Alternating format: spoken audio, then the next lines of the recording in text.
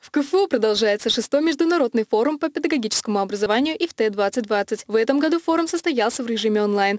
Директор Института психологии и образования КФУ, один из организаторов Международного форума по педагогическому образованию Айдар Калимулин предложил участникам форума порассуждать на тему, с какими основными проблемами столкнулись учителя, ученики и родители в своей стране в условиях пандемии COVID-19.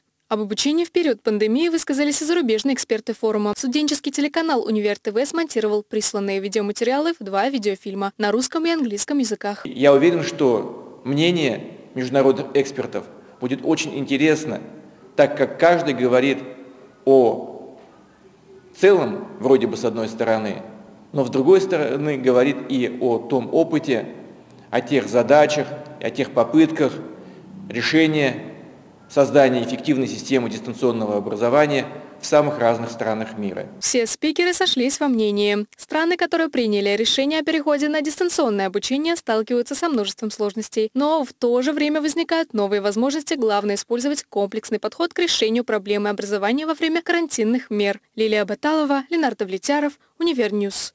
Thank you